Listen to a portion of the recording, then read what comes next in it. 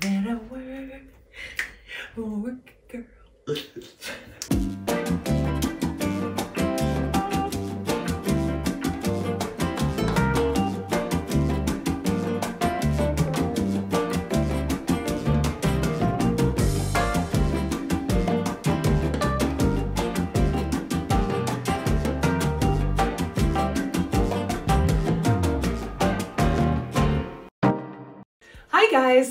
welcome back. Glad to see you again. Today we're going to do a little bit more of Bit of Beauty, staying in my Charlotte Tilbury phase.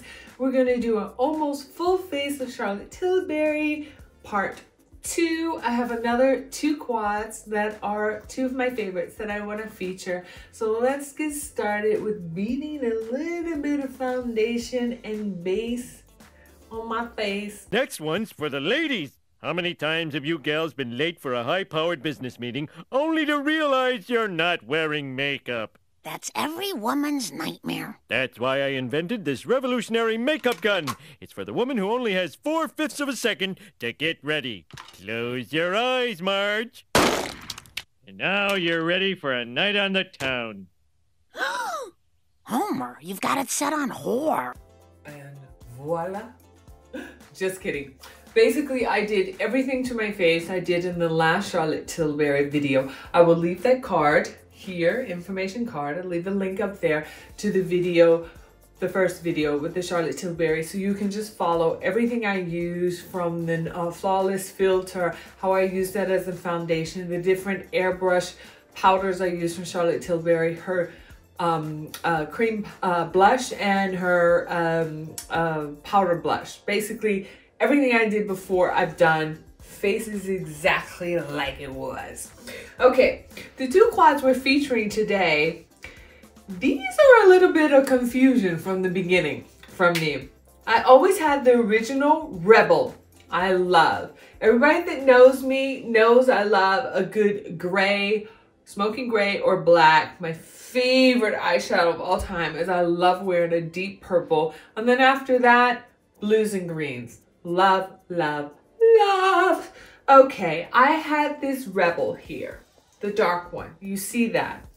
And then I heard she came out with, it was maybe about six months ago, she came out with a new like uh, three or four quads and one was called something uh, Green Lights or something like that. And they were, and I heard it was the old Rebel quad that she just gave a new name. So I was like, oh, I have the Rebel quad. But every time I saw it on the internet or I saw pictures of other people on YouTube with the quad, it looked a little bit lighter than mine. So finally, they had a Rebel that looked different than mine at the small little Sephora. It's more inside, it's not a big Sephora store, it's like a shop in shop where I have uh, here in Munich, the only Sephora we have, and unfortunately they are not always fully supplied.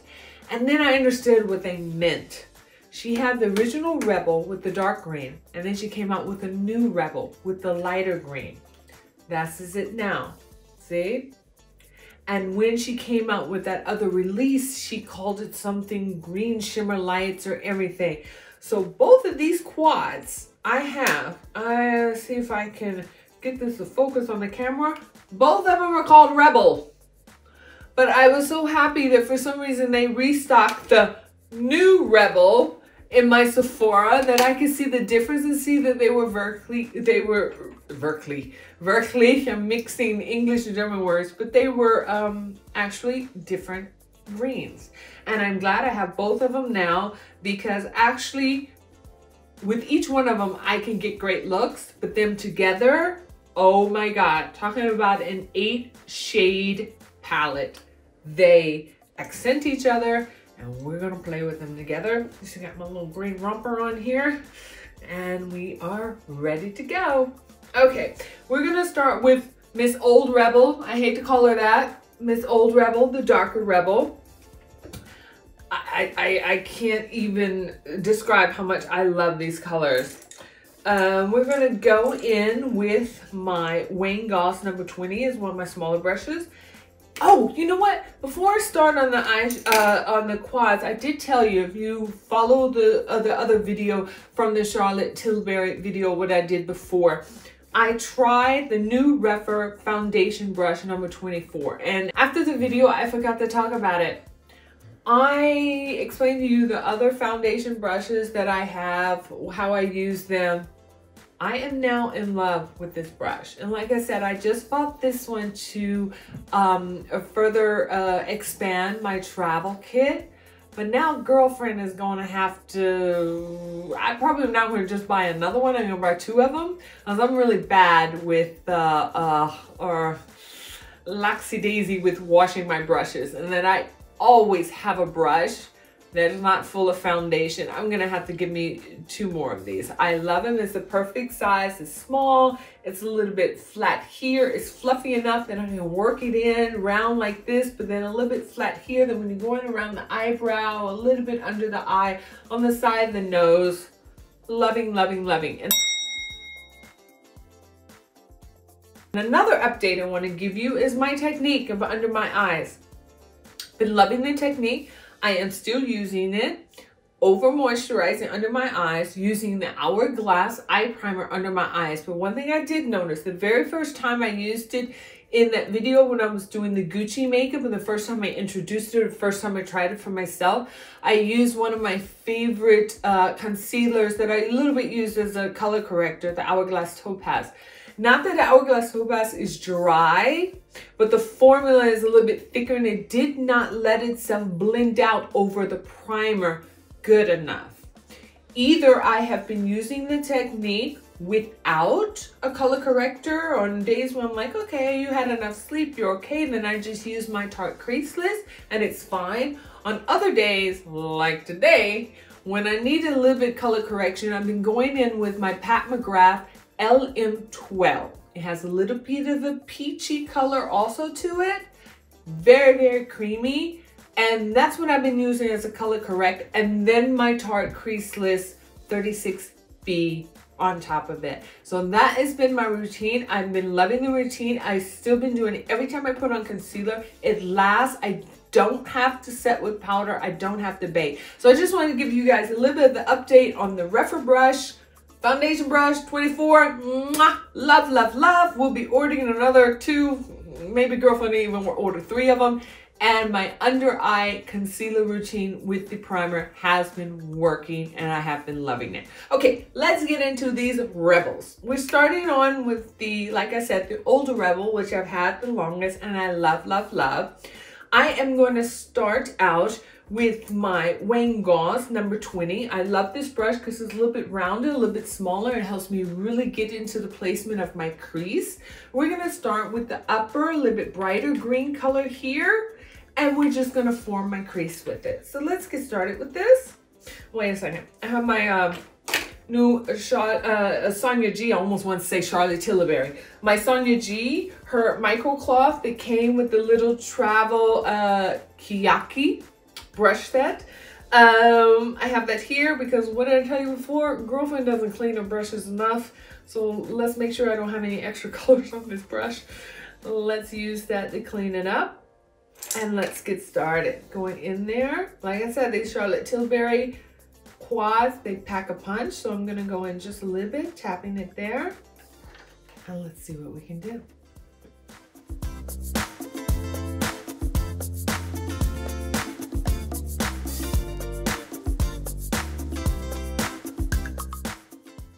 Again, I'm just making a rainbow form in my crease and using small circular muscle, uh, circular muscles, using small circular motions and just blending that out. This brush by Wayne Goss is perfect for that. I would see by other YouTube channels a lot of comments down below. People ask, yeah, I have really hooded eyes. What, what brushes do I use? I would say my favorite brushes for very hooded eyes would be the Sonia G Sky Set, her eye Sky Set. She has a lot of the similar um, forms of brushes from her original eye set, but they're a lot smaller and compactor. And I like using them a lot because I have a little bit half hooded eye. And then Wayne Goss is about four brushes I'm gonna use here. I will tell you when I'm using them that I feel like the best when you have a little bit more meat and flesh and uh, skin around your eyes that you need to get in there and work. And like I said, one of the best ones I love starting out that I, when I'm, especially when I'm working with a bright color, that I just want to get it precisely where I want it. And that's the Wayne Goss number 20. We're still working in there and working this up.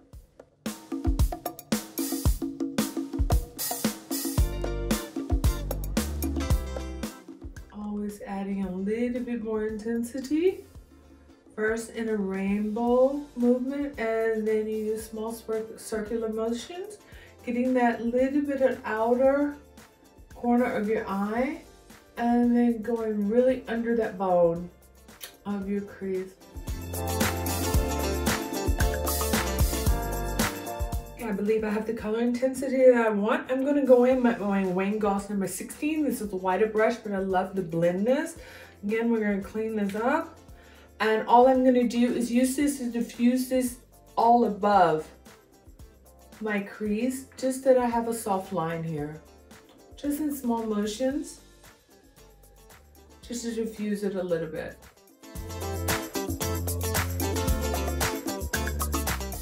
Okay, I think that's a good base. Now I'm gonna go in there and I am going to cut my crease, going in with my favorite uh, Surratt, going in with my favorite Surratt concealer brush. And we're gonna go again with the Hourglass eye primer. And I'm just gonna cut the crease a little bit because I wanna bring it another deeper green and I want a very solid distinctive line between the screens. Let's cut.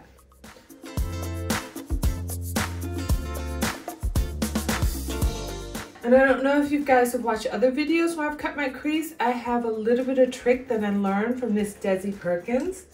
When you cut your crease, I don't like to follow in a rainbow directly into the point of my eye. I kind of raise the line a little bit because I have a little bit of a hooded eye. It helps open your eye. So instead of cutting the crease down into the corner, you see how I take the line a little bit straighter?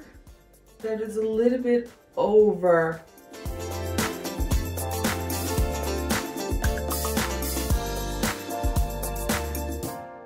And I love working with this Hourglass primer because it's almost clear. You just get such a soft descent cut. Just going in there again with my Wayne Goss number 20 without adding any more green on it. That first green color. Just to make sure everything's good in there. Okay guys, now over my cut uh, crease area, I'm going to go in with the Sonia G, my Builder Pro. I love this because I've said before how tapered it is, how small it is. I can go in there with the point and it's so flat you can pack color on there intensively. So we're gonna go in with this lower, I wouldn't say glitter, but it's a little bit of shimmery uh, medium olive green, one of my favorites. And we're going to go in there and I do not need to take any of the intensity off because I want to make sure that's very intense packed on. And let's pack it on exactly where I cut the crease.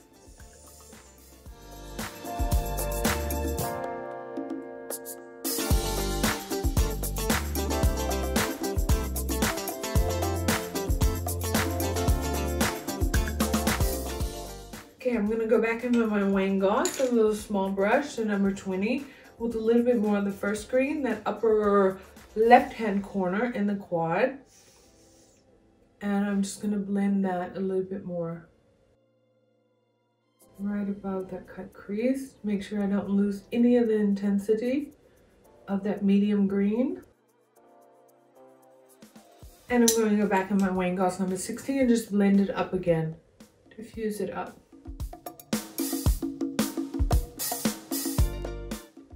And that's the look I'm looking for because it's so intensive and with the shimmer and green. I'm not going to play with any darker colors in the outer corner of my eye or any kind of halo is one of my favorite. But what I am going to do, I'm going to go in with my uh, Sonia G Smudger 2 and we're going to create a little bit of that drama with the last lower left side, that darker green. I love that beautiful hunter green. And we're gonna go in that, everything under my eye and smudge it out to get that drama.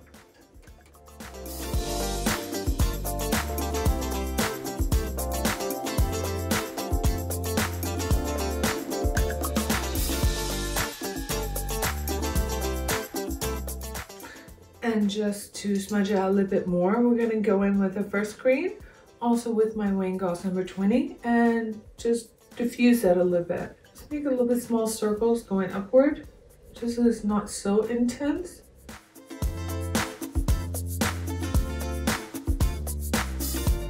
We're getting there. We're gonna go with my other Sonia G smudger brush. This is very small. Um, I'm losing pearls. Clutch my pearls. My pearls are falling out here. Okay, and the one color we haven't played with yet is the highlighter, the very first color. We're just gonna go in there, define around the brow area, clean up under the eye with that color also. And I'm going in with my Sonia G flat definer, also from her Sky, her uh, Sky um, eye brush uh, line. Like I said, a lot smaller brushes in this line for people that have small eyes and small eyelids. So let's just define a little bit on my eyebrow area. I'm gonna use this to highlight here under to clean this up just a little bit.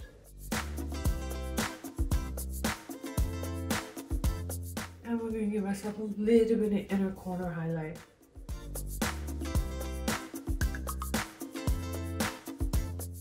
Just to blend everything in, I just go over everything with my beloved Goss number 16 and just diffuse everything. We're gonna go up here a little bit, here a little bit, make sure here, in the inner corner.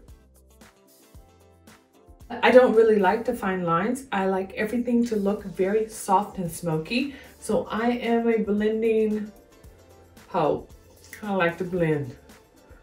And just like to blend everything in and diffuse everything. And there you guys, this is one of my first looks from the older version of the Rebel.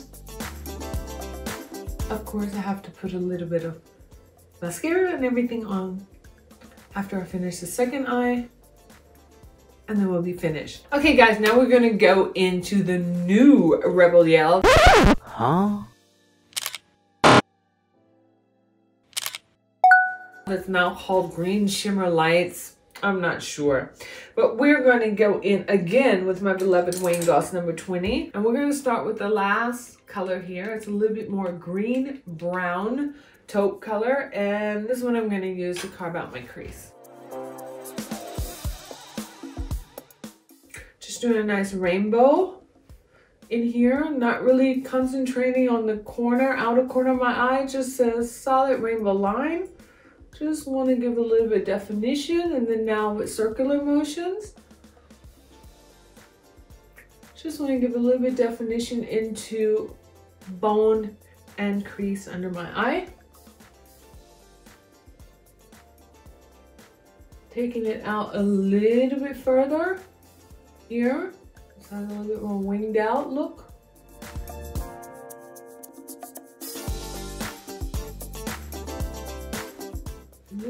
More intensity right here. Just tapping it in there.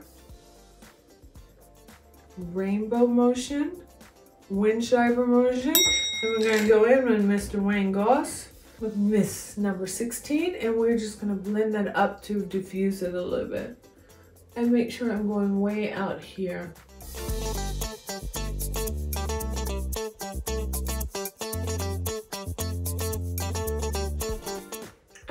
Have a good base to start on.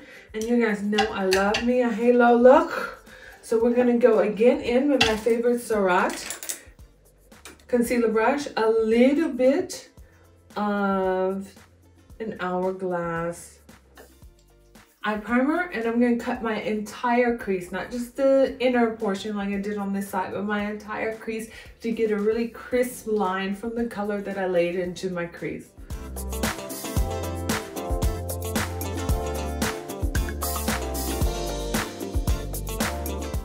Again, I'm not going directly into my corner. Just making a little space higher than the corner of my eye, going a straight line here the inside.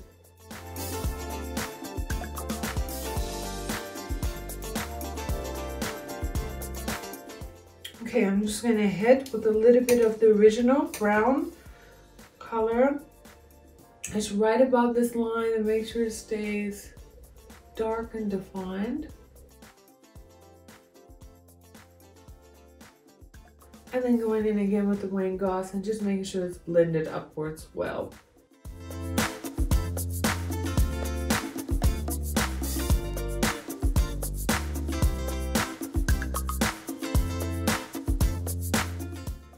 Okay, let's go in now with the halo eye. Let's go in. We're gonna go in with my uh, Sonia G. I love this one, the pack it on in the corners, the soft shader, undyed brush, also from her Blue Sky. I love working with this in the inner corner and outer corner of my eye, like I said, from her Sky eye set. It's a little bit smaller if you have a little bit hooded eye or smaller eye space. Eyelid space to work with is perfect. So we are going to go in, I'm gonna make a different kind of halo. I'm gonna make a halo that I'm gonna go in with this color because this color and this color are very similar. So I'm gonna go in with this one's a little bit lighter in the inner part of my eye lid and this on the outer part of my eyelid. And then we're gonna use this gold in the center of the, the halo. So like I said, I'm starting with this color here in the inner.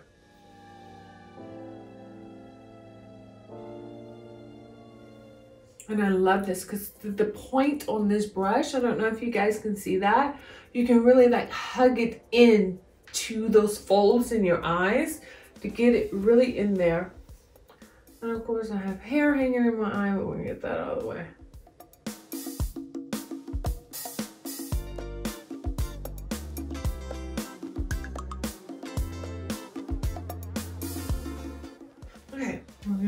We're gonna just clean that off of my micro faser, or Mikrofaser as we say in German, cloth here. And then I'm going to go into this lower green one I showed you here, and that's gonna be the outer corner of my eye. Still using my Sonia G uh, soft shader here,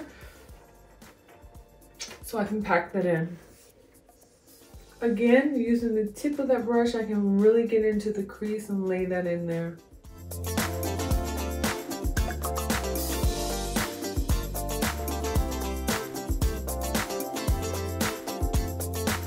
Sure I connect this halo at the top. If you notice, I can use that point. You see how I'm just rolling it like this on my finger? That's how I get it right here in that smaller fold of my, I just basically roll it like this in my finger. It's one of the best little small brushes. Okay, we're just gonna go in with uh, Wayne Goss number 20 again with the with the first brown color that I use and just blend this line a little bit more.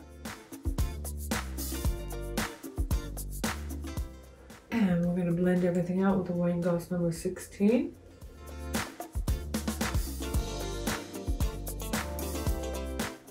Everything's blended. Let's make that halo and then accent in the middle. And let's go and pack that on with a Builder 3 from Sonia G. Make sure she's clean. And we're going in here with the gold up here. And I'm just gonna pack that on. And we're gonna put that in the middle to give me a little bit of golden accent.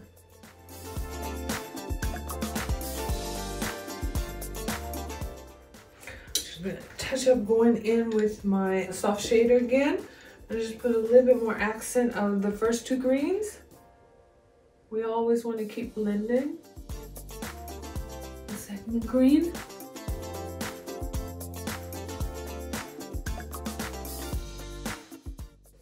I have that blended good. I'm gonna go under my eyes with the very small. No, I'm gonna use this one from Wayne Gold. No, this is actually my Rephr number three. I'm gonna go under my eyes with the very first brown color, the last color in the quad. I'll show it to you. Last color in the quad here, but we can just get a little bit of definition under the eye.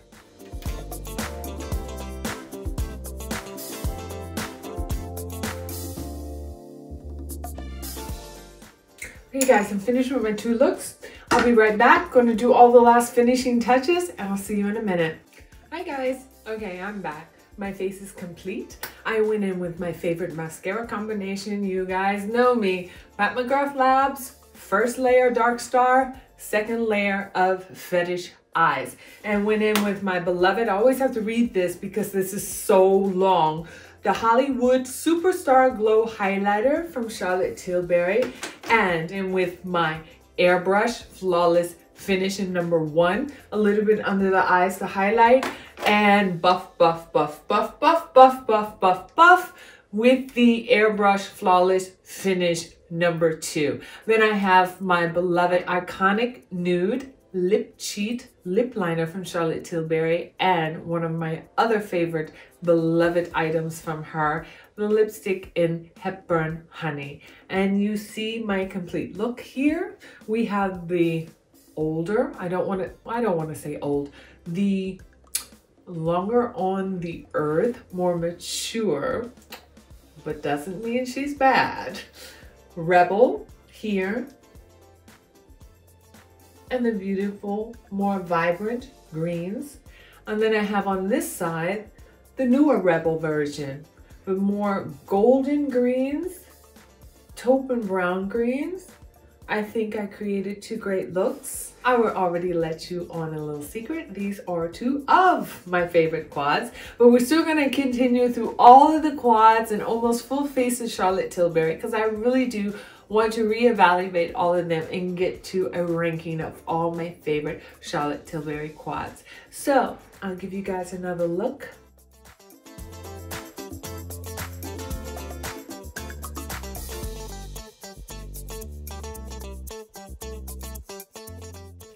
You let me know what you think. So, like I said again, I love my Rephr new number 24 foundation brush.